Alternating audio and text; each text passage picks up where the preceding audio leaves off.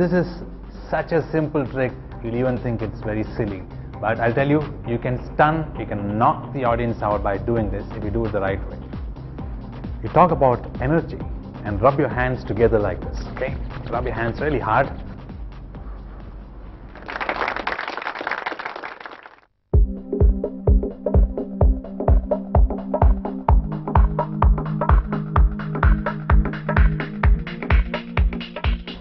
This is based on a very silly idea. Uh, you just use your breath from the mouth to move the straw. In fact, you blow on the straw, but the audience are not aware of it. What you do is rub your hands like this, creating energy, and after that,